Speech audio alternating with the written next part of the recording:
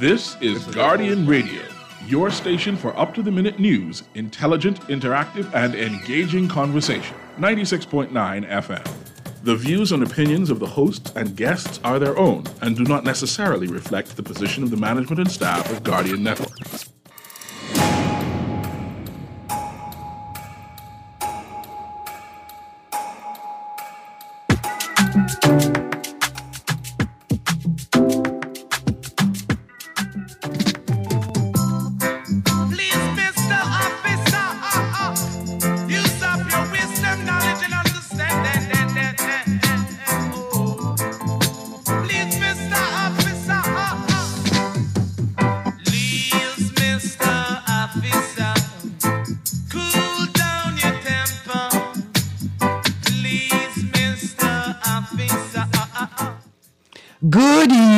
This morning, and welcome back to Guardian Radio 96.9 FM, your station for fresh news, smart talk all day. It is Tuesday, the 17th of January, 2023, and you are on the clock on this World News Tuesday with Mark Palmer. Good morning, Mr. Palmer. Good morning, Erin, how are you doing? I good, thank you. I So- uh, I hope you enjoyed that little sample of that song by Jacob Yeah. Miller, my cousin, my Jamaican cousin, oh, f- brother from another mother, right? But I want to play that today uh, because Jacob Miller, dear, my dear Jamaican family, I am not claiming Jacob Miller as a Bahamian, but what I'm saying is, is that Jama- uh, Jacob Miller might as well be a Bahamian, right? Because Josiah Kinslock played with the Wailers and would have been playing in that space with Jacob Miller at the time. That might as well make him a Bahamian. So we can play that song this morning. Most importantly, good morning to the officers of the RBPF. Uh, want you guys to stay safe and uh, want you guys to remember that we are your friends as well. Not just that you are friends, that we're your friends as well. And please, Mr. Officer, cool down your temper, sir. That's all we ask. what happened? Nothing happened. Oh, okay. I just just say- check in. Yeah, yeah. Okay. Just checking. You know, it's mutual, mm-hmm. though, it's balance, right? We understand the pressures that you under. We understand what it means to attempt to do a job without the necessary resources or the necessary training or the necessary support. We understand how difficult it is to do some of these jobs outside of a culture, collective culture, that understands the nature of what you do you know, and can understand the problems that come with what you do. So all of that's difficult. At the same time, you know, we say that because we want officers to understand. We practice empathy. We want you to practice empathy too. Please, Mr. Officer. I mean, the hardest thing I find is regulating your own emotions, right? Yeah. That's I think that's hard for everyone. Yeah. And when you get triggered, and I can imagine being a police officer, it's very easy to trigger you. Somebody, you know, Oh, yeah, yeah. all they have to do is say one couple words, right? Yeah. And how do you keep your temper, Yeah. you know, and not let it spill over into a personal thing? That's that's the hardest thing. I mean, what kind of training do they get? I mean, I'm assuming they must get some kind of oh, training they to help them do that. I, I think it's it's about a question of a priori. You know, like a priori, you guys research that. It's a bit of a complex term, but it's like your it's your framework of thinking. It's like the framework through which you see the world and move Mm-hmm. through the world, right? And it becomes it can become complex or, or, or, or frustrating, I think, because officers and ordinary citizens often live in different worlds yeah. navigate the world differently, see the world differently, and sometimes those perspectives clash, especially on this idea of authority and what authority means and how we exercise authority, how we operate in our authority, what it means to have like lateral authority. Right? How do people who have the same level of authority interact with each other? How do you moderate each other's behavior? Mm-hmm. How do you ask each other to cool it down, hmm. right? And so I like that song because in that moment, right? In that moment, an officer and, and, and Jacob Miller have the same amount of power. It's only for the officer to recognize it. It- right? Hmm. And there's, there's a balance there. That's the space we want to get to, where we understand our authority, we understand the environment in which it operates, and we understand how authorities don't necessarily diminish other mm-hmm. people's authority. But see, that's why this housing crisis thing is a big deal, right? The problem isn't that young people cannot afford to buy their own homes. It is that young people cannot afford to live in their homes with their parents who insist on infantilizing them for the rest of their life, who insist or refuse to shift their perspective and recognize their children as adults having equal authority to them. And as time wears on, that your the idea that your children will have more authority than you can manage. Right? Yeah, it's like a pull and tug, right? Yeah. Because they they're moving ahead, right? They're Yeah. becoming uh, grown adults, but we still see them as these young kids. I mean, I have the same. I have an 18 year old daughter, Mm-hmm. and it's the same thing because she's living under our roof. So um, you know, she has to obey our our rules, Mm-hmm. and you know, at that age, they're not the most respectful Yeah. beings, and my wife finds it hard, you know. But And just before we start our next segment, as as parents get older, their role in society changes. That parent-child dynamic becomes the last space of authority, of recognized authority they have left. And sometimes people tend to hold on to it. This this term, we don't bend to our cradle. You don't bend. If you don't, and I tell people this: if you don't bend to your cradle, you're gonna fall in your grave. Mm-hmm. Nobody wants that. Mm-hmm. You know, nobody wants that. So, in the same sense, right? Yeah. We say, "Please, Mr. Officer," and for all the little children out there, we say, "Please, Mr. Mummy Daddy, Mrs. Mummy, Mr. Daddy, cool down your temper, sir. all Don't beat about these control. children." Yeah.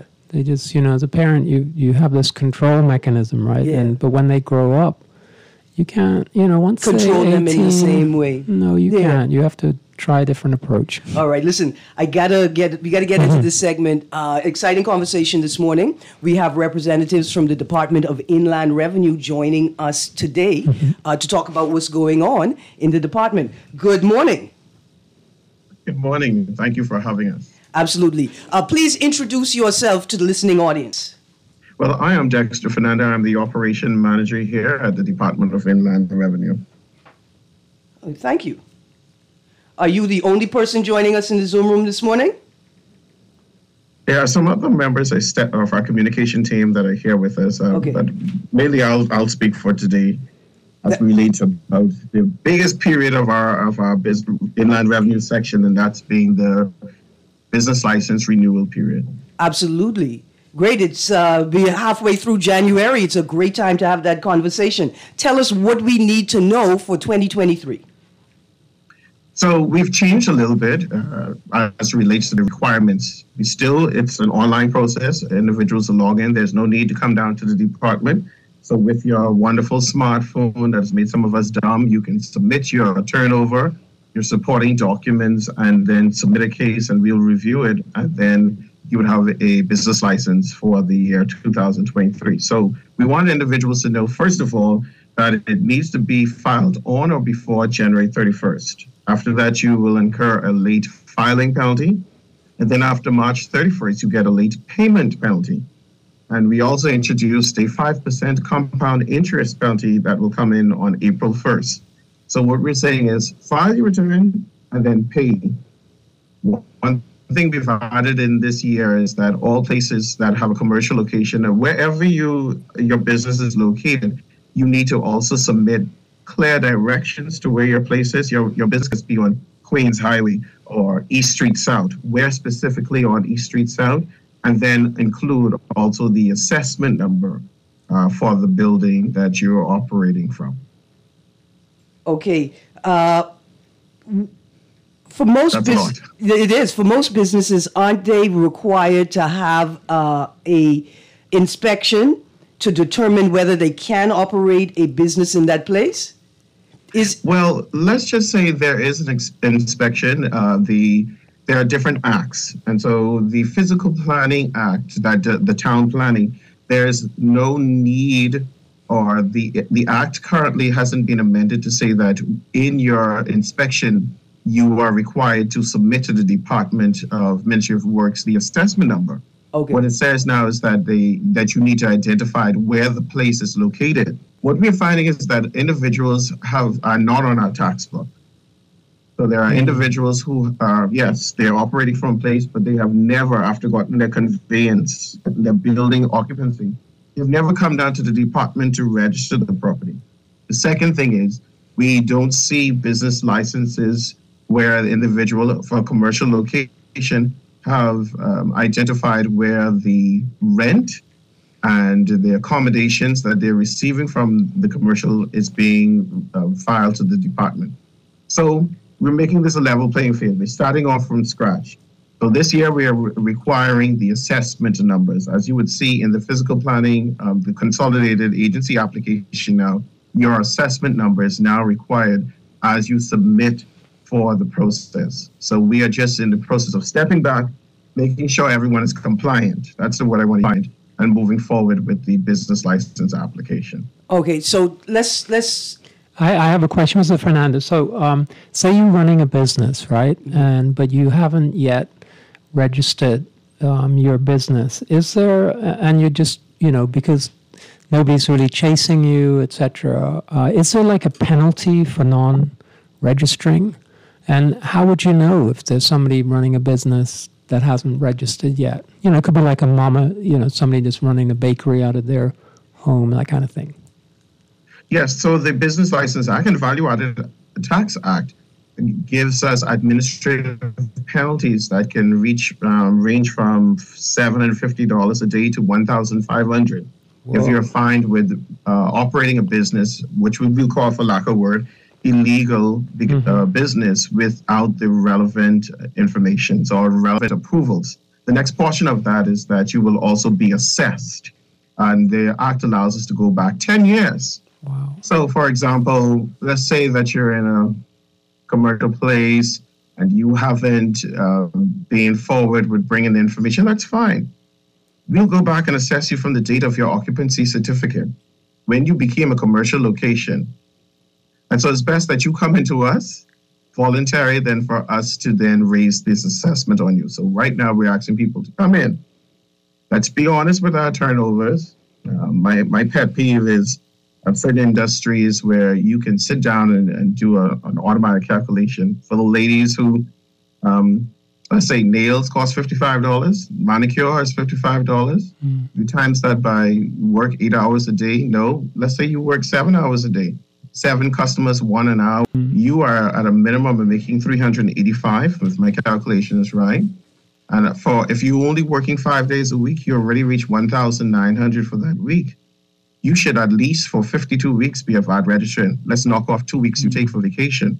Your so we are now getting to the point where we're sitting down and looking at the information. And we're asking individuals to be truthful. if um, you're advertising out there a certain price, we can, you know, do some guesstimation. But we would, we would prefer not to go to that point, raising assessments. And so we're now asking people to be honest as best as possible. And, you know, Beam is a very honest people. Um, so we're asking for individuals to submit their real, their turnover before they de- uh, uh, take out any deductions, not their net profit, but their total revenue collected. right. That's I was about to ask. This figure of a hundred thousand per year is gross, not net. That's right, gross. Right. So it's what you take in. So let's let's go let's go to the, the area. I know I might get in trouble with this. Let's go to the area. But listen, We know that in some um, industry there is Yeah. a some there is a certain people who brag about paying a daily ASU. So at a minimum, if you are doing an ASU that, that throws a hand of five hundred dollars, you are you are working hard to at least make five hundred dollars a day. What are we saying about the turnover when you submit something saying that you only made five hundred for the year? I got you. And, and you, I mean that, you that understand? that's obvious on the face of it that the, mm-hmm. the numbers don't match up. and then then you have two individuals employed.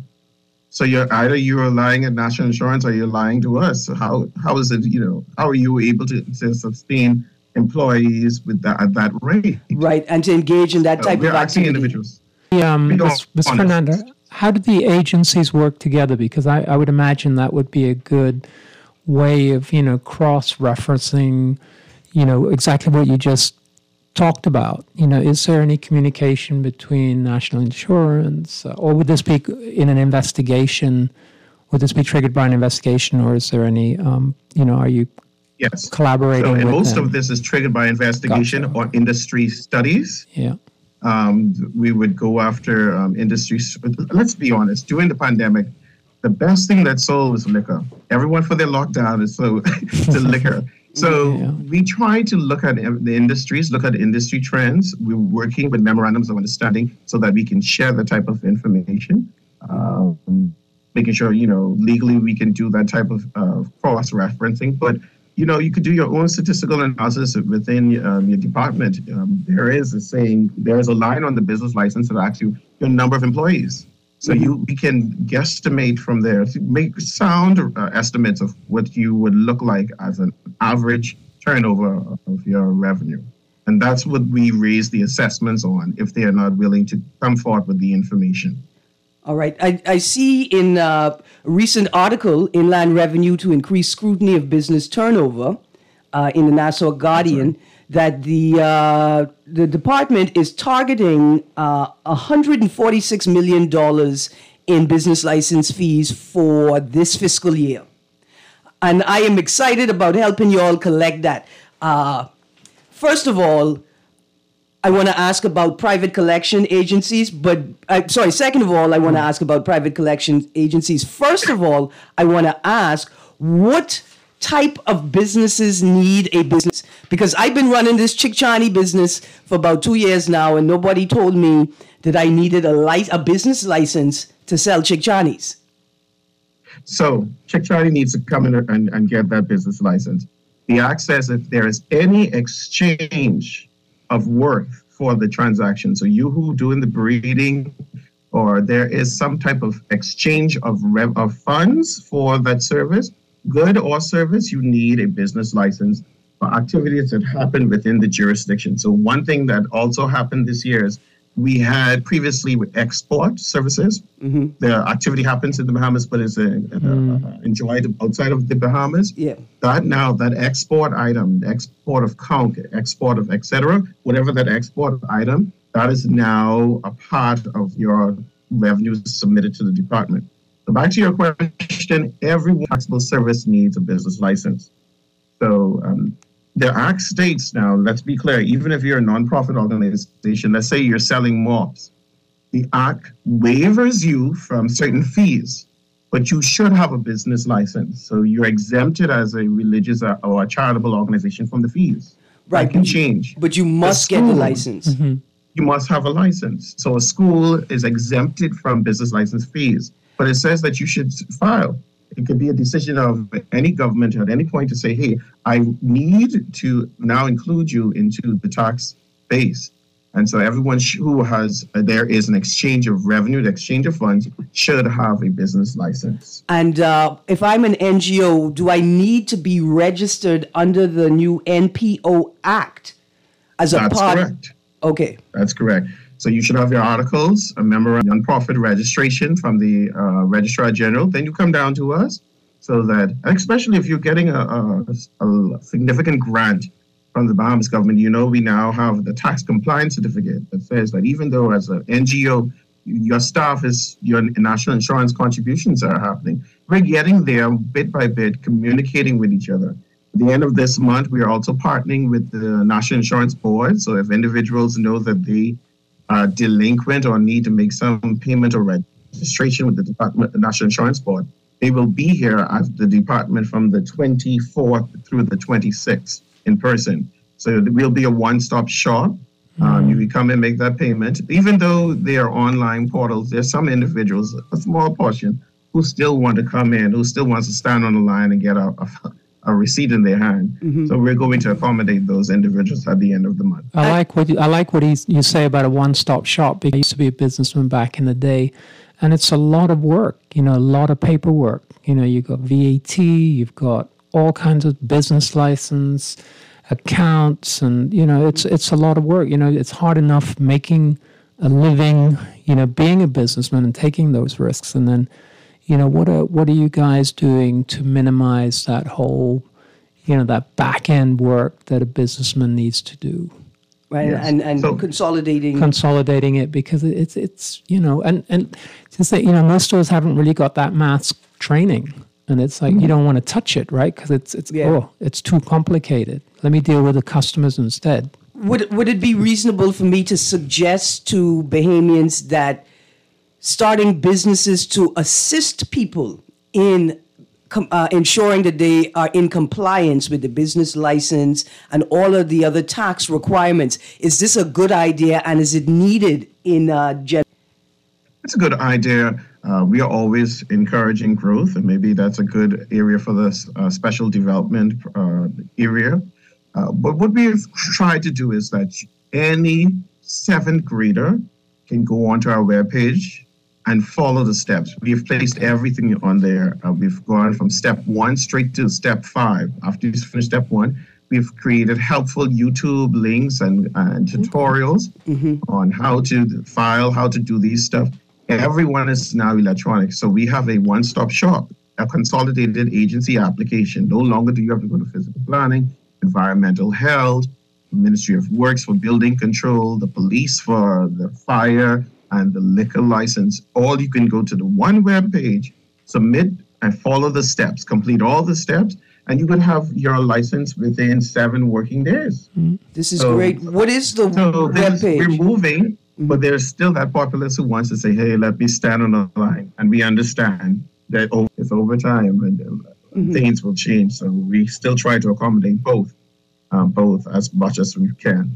Absolutely and what is the uh, website how do i get there So the website is inlandrevenue.finance.gov. That's for government, gov.bs. That's inlandrevenue.finance.gov.bs. and, And we also have a help desk Yeah. that's open. And the hotline number from the Family Island and, and New Providence is 225 7280. 225-7280 Zero. You know, I agree with you. Uh, the online access is great, and be I say be patient with the uh, newer users. It takes them practice to develop the comfort level with the new technology. See, what I've noticed, um, I mean, bi- with the property, I know the business side is a little bit more complex, but be straightforward. And what I've noticed now, you get the emails, you get the, you know, you get an email every year in good time with the with the um, charges and then the, the payment plan, and so there's no excuse, right? Yeah. You know, like BPL, they send you that. So that I think that's really improved, and it, it's you know then it's down to me if I don't pay. Right. So Right. you, you have made it easier for sure. Absolutely. And I So so, we- go on. We've made it easier. Um, unfortunately, we went through a point of an amnesty period to see if we could get people to come in. They didn't come in. After the amnesty period, we've made demand notices on banks. Some individuals are still uh, left ju- the jurisdiction, and so now we've actually placed them in third party. So before we get to the point of going to the third party, we wanted individuals to come in uh, because once it goes to the third party private collector, there's now 40% added to your bill. Forty percent. Wow. forty percent. That's the, the you know that's added to your bill. So we're we're encouraging people, and there's like one year. These are institutional, uh, historical information where they ha- have significant arrears, Right. and so we've actually uh, maybe this year encouraged the use of garnishing, where we can um, have your, the rent of your tenant redirected to us to pay your outstanding taxes.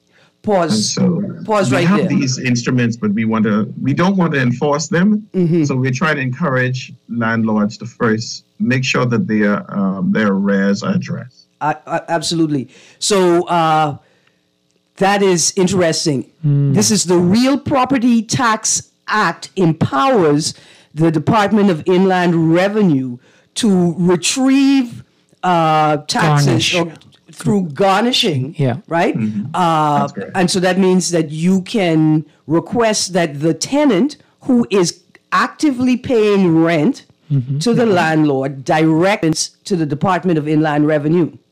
That's correct. That's one method. The second method, if I'm correct, is that banks that are holding mortgages or assets. or as will, as a guarantee for a loan. okay will be directed to divert the funds to the Department of Inland Revenue. Yes, that's correct. Okay. Are there any other methods or measures that the department has available to them through various pieces of legislation to quote unquote retrieve the money? I think the question you're asking, can they sell? The final document we would use is that of sale, sale, Sale, of property, gotcha, and um, but that's the we, we, we like I said, we are trying to stimulate growth within the economy. We want to use that as a last last instrument, last option, um, if possible. But if at, at some point where the outstanding amount is almost to the value of the property, then sale is inevitable that we have to go ahead and sale. Oh wow. Wow. Okay. This is uh, this is fascinating. So I, I have a, a, a big question. What is, I heard figures of one billion dollars of arrears. Is that correct? Because that seems That's- like that's that's a percentage of our GDP, right? That's correct. So we are trying to, uh, to look at this mountain and see how best we can handle this mountain. I didn't know you could you could owe a thousand million dollars in this little country of ours. That's that's incredible. Mis- Mr. Palmer, I, let- let's just look at it. Uh, Um, That- you that's- have at some point we developed more parts of teeth to the act.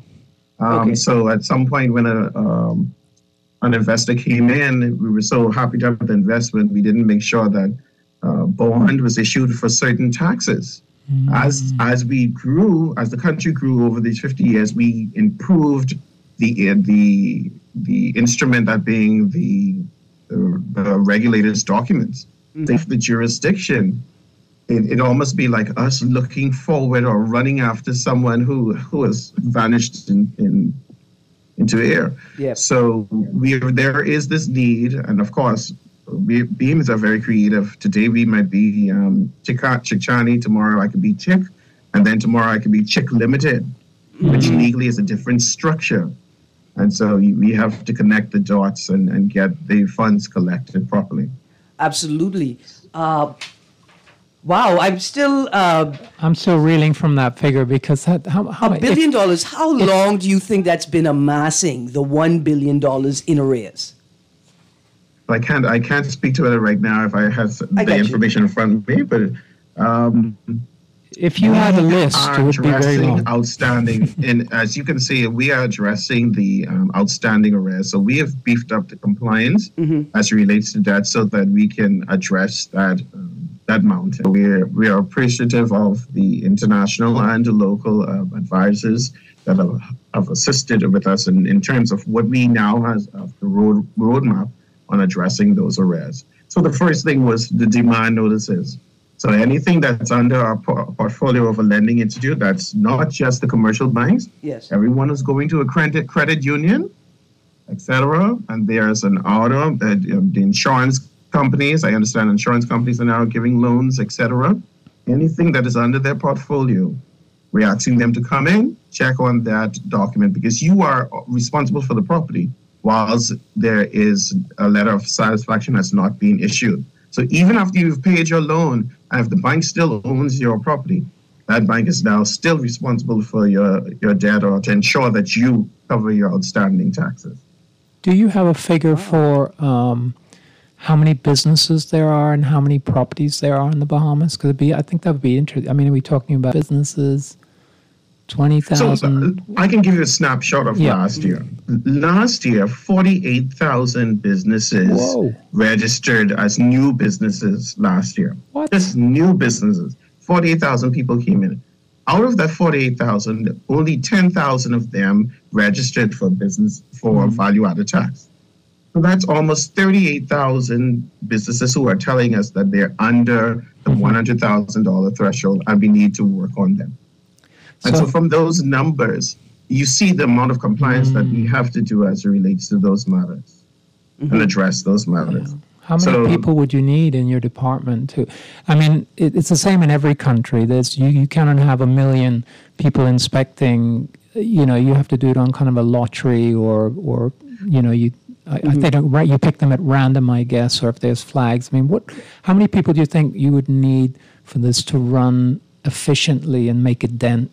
We would need an, an IRS structure. right now, we have a, a complement of maybe 200 where we are doing more of risk analysis Mm-hmm. uh, in terms of looking at the peak uh, industries and going as going in that area where we see there is compliance. One thing with VAT, it tells us over time those that compliant that become compliant, less compliant areas. And so we're using that type of strategy, lessons learned from other countries within the region. And so we're getting the correct complement of staff necessary. So we're looking at some point becoming the Bahamas IRS. Uh, so- And- and I imagine- the, the staff that we would need for that. And I imagine that the uh, the services that you offer and the tax, uh, I guess, portfolio and as well, right? Because we're looking That's at a, correct. a c- credit bureau and a credit rating agency in the near future. That's correct. Absolutely. It, it sounds like it will be self-funding.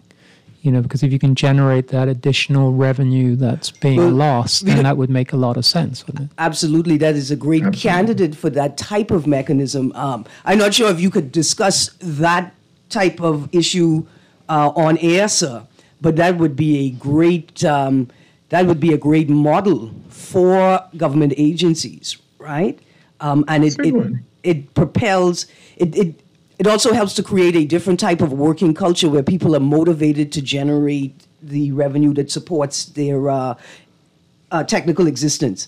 Um, Well, I encourage uh, read. There was a document that was launched about tax reform, and such conversations were talked about inside that white paper. I think it was tabled in maybe 2014. So there are documents that, that talk about or speak about that move to an authority, an agency, a quasi government, that type of institutional, and um, the transformation of these leakages in, uh, in revenue. So that's uh, our starting point. Is at least we have that white paper that has um, absolutely. some teeth to it do uh, you where we want to go. do you have staff that are available to uh, engage civic organizations and businesses that want to have presentations on tax reform, the tax reforms and the, the overview mentioned in that what would be that 2014 paper, and uh, then simple sort of how-to tips for uh, uh, everyday spenders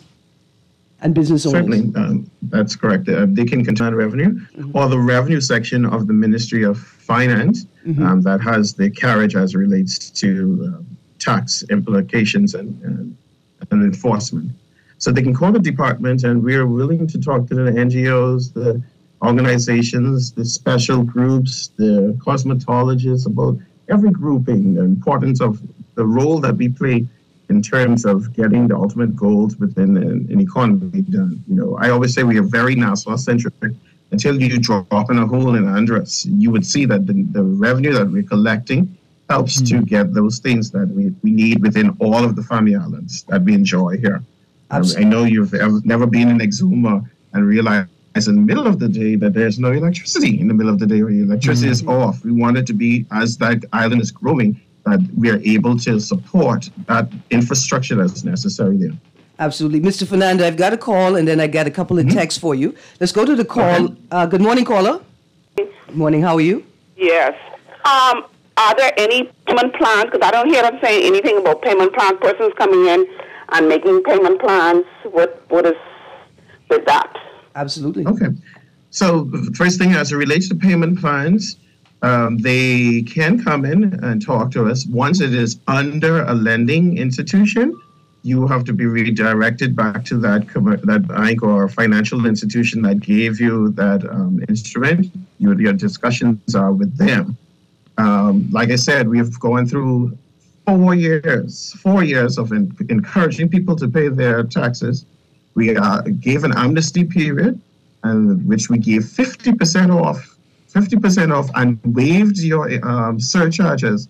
And then, and we gave a period of three years. Individuals did not take that on, and so we've reached the point of the demand notices. So if you have uh, property that is not under a mortgage, a portfolio of a lending institution, we're still willing to discuss it with you. You can call our department and we can have um, someone come in and we can talk about a payment plan as relates to the outstanding taxes. All right. And We're if, if, to if shut no company down. We want the company to, to grow. We need them to grow so we can have employment. We want to address the, the regular situations. But at the same time, we need you to be cognizant of your taxes and pay them. You, you have to remember that your VAT that you receive, once you net it off every month or every quarter, make sure you lend that, send the funds that is necessary for the government back to the government. Do not use that funds as part of your cash flow. Right. So what is earmarked for taxes, for VAT, or VAT collection, or for taxes, you need to put that aside and ensure that you send it to the relevant agencies when necessary. Mm-hmm. And the we have go on. We have wonderful social media uh, web uh, Facebook on IG, uh, all those places that you can get information. We have helpful tubes up there. What you need to do. Um, we're just encouraging individuals to come in before January 31st, on or before January 31st, pay before March 31st, and you don't want that interest penalty on April 1st. So and the interest penalty is 5% starting on April 5%. 1st. So wow. late payment is 10%, interest is 5%, and then late filing is $100. okay, what in, in, in terms of like, say, property tax related matters, right? What if the property, the ownership of the property has been in sort of in dispute, right? Say for 6 mm-hmm. or seven years, uh, mm-hmm. and it turns out that the person who actually has title was being frustrated in, in, in, in mm-hmm. holding that title uh, is there some grace or leeway for people who are in those types of situations? Well, in those special situations, we got the instructions of the court. So as it relates now, we remain on what appears on the registered conveyance. Now, that goes for stick a pause there. That means a lot of people have conveyance that have never been registered. Okay. And so we need you, we go by what is there in the registered conveyance. And then once uh, administrative court decision has been, then we can settle whatever matter there is. But we um, hold f- solid to what there is on the registered conveyances in those matters until the dispute has a decision. That could even be a divorce settlement. We- If you, whatever, if it's in, in still in progress, we go by what's on the conveyance. And then after this, uh, the divorce um, court, Supreme Court decision, we can follow those documents. Absolutely. Uh, the text here says, Hi, good morning. How can tenants be expected to pay rent to without any contract or arrangement with inland revenue? And so I guess Well, so the, the thing is, you look at the amendment to the to the act. The act now has that ability for us as a part of the garnishing. So you are in a building, and we're not going to release the information of your your information to your tenant. But we first start off by saying, could you ask your landlord to give us a contact? If your landlord refuses to come in and make an arrangement with us, we then execute that power which is under the act and we redirect that rent to the outstanding taxes. And I think it is in section six of both of the Real Property Tax and the Business License Act that has been amended so that we can get those type of garnishing. So the question is, are you comfortable as a tenant hmm. um, operating in a business in a location that has outstanding? I, let's look at it. If you were not paying your bees, mm-hmm. sir, you had a if you weren't paying your light or, or Yeah. your water, they cut you off, your phone off. And so we're just going to cut you off, cut you off in a bit. Just a- smoothly. I got. We got to go to a break. When we get back to the break, and my heart and my wallet just broke just now. When we get back to the break, I think I will have mended them back, and we will continue uh, with the text and uh, with this conversation. I thank you so much for joining us. Uh, please stay tuned. You're on the clock with Erin Greene Mr. Mark Palmer. We're talking to the Department of Inland Revenue about the changes in the business license uh, process. Stay tuned. We'll be right back.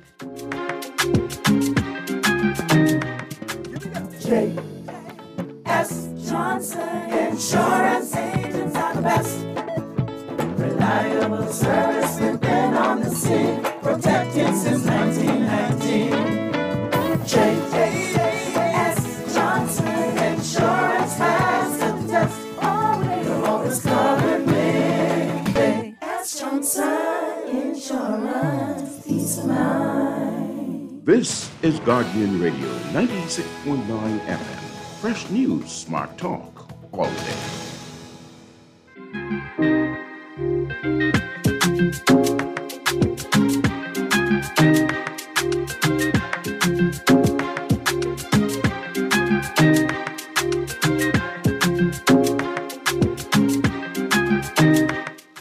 I, Mr. Fernanda, and uh, staff from the Department of Inland Revenue are joining us this morning for a very important conversation.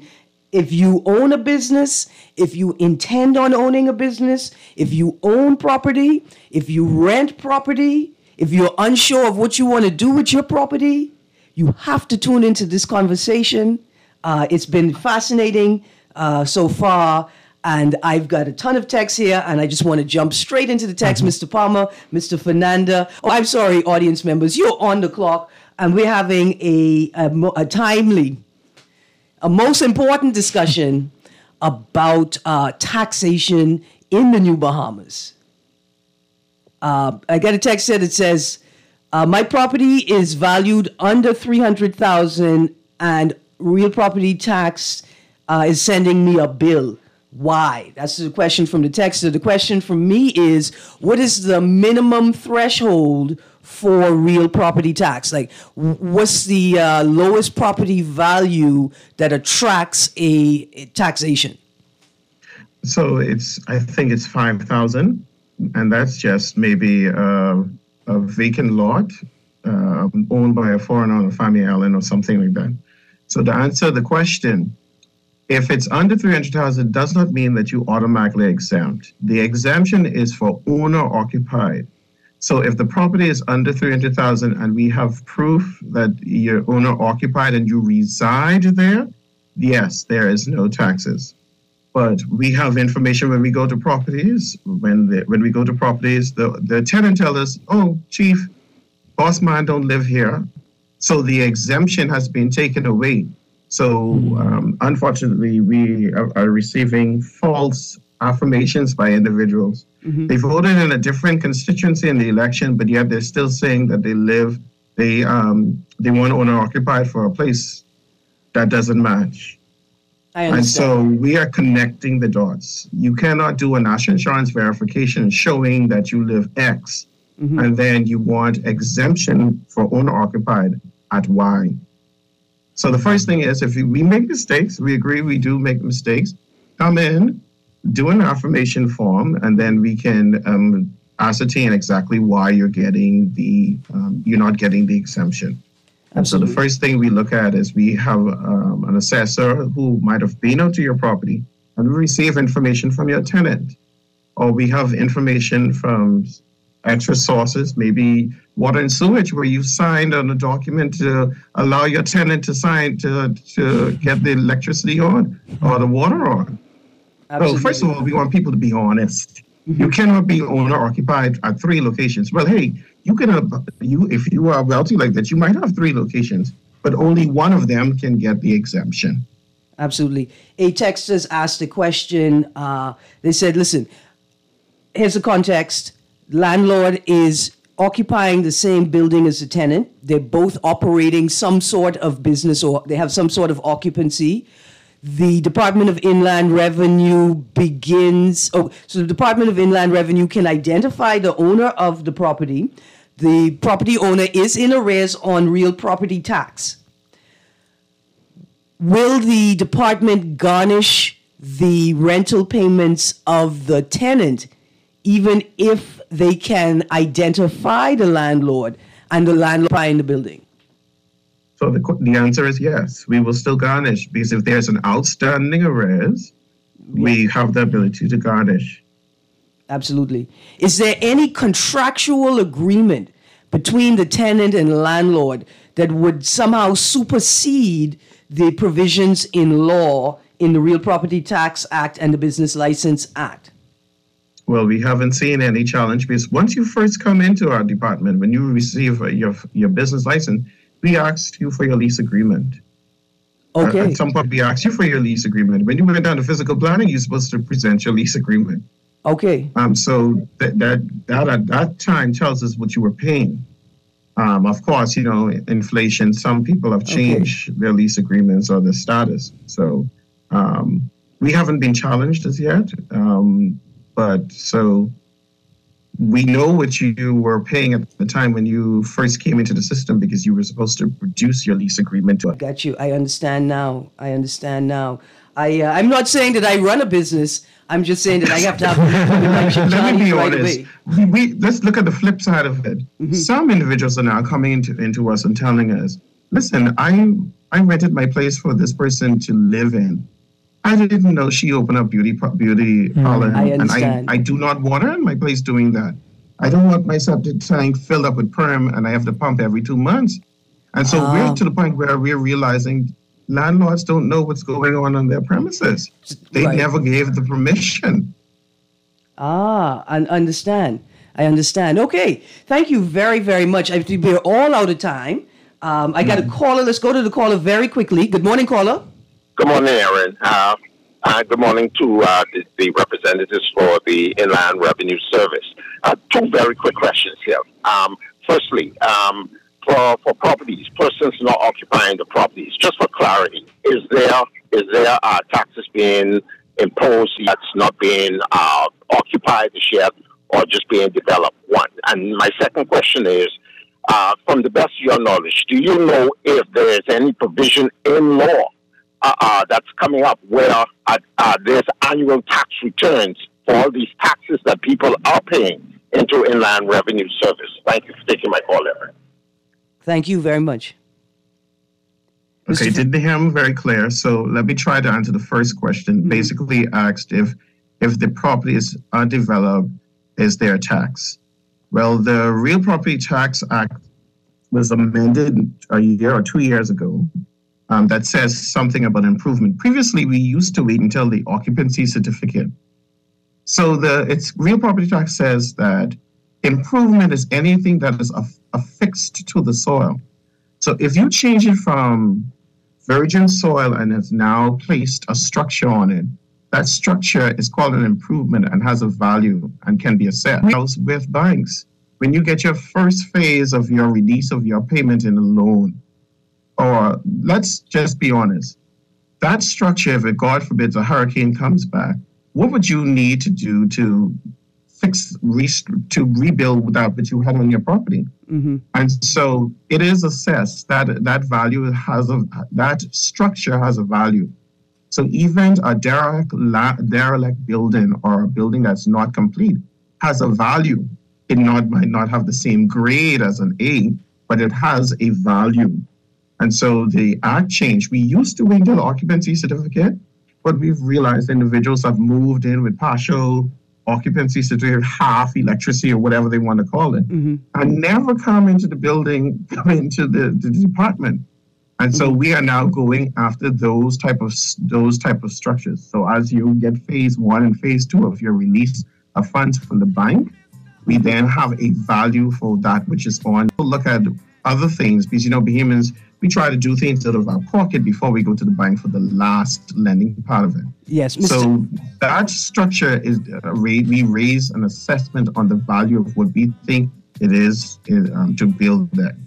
Absolutely. So I hope that answers the first question. Thank you, So Mr. Fernando. We are, we are all out of time. I, All the time, But okay. listen, this is great because it means that I have to beg you to make, if not on the clock, the Guardian 96.9 radio, the home of all tax information. Right? Let's make this the space where we teach Bahamians about the new Bahamas that we are going to be navigating. This is a fascinating conversation. I've got callers, I've got texts, but I'm so sorry to everyone. We're out of time. And so please visit inlandrevenue.finance.gov.bs for more questions and answers to your questions. And you can call 225 7280. That's 225 7280 for more information or to speak to someone. And I'm going to repeat this information over the next few days until I can convince you, gentlemen, and the department to come back on again. Let's continue this conversation so I could be in compliance with my Chickcharney empire. Have a wonderful day. Absolutely. Thank you so much, Mr. Fernandez. Thank you, Mr. Palmer. Thank you to the callers and the listeners, the texters. Have a great day, Bahamas.